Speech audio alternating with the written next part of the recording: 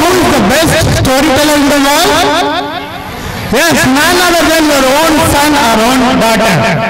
Yes, allowing your children to narrate stories is also an effective method of learning.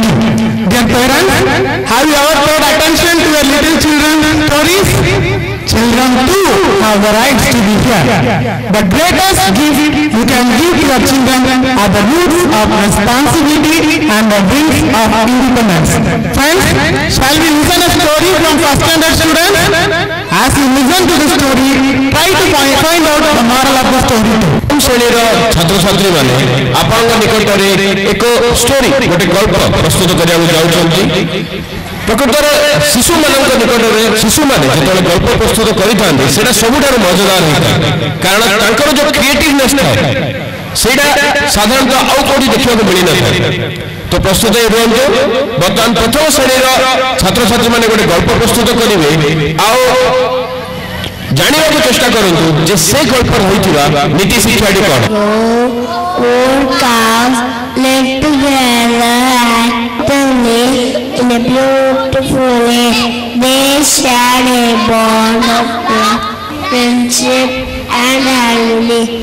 Other animals were afraid of the unity and never bothered them. One day, the king of the forest, the lion, cast his greedy eyes on them. He said to himself, Good Lord, those cows look so delicious. There will be no escape for them from me. The lion waited eagerly for a chance to make a meal out of the cows. One day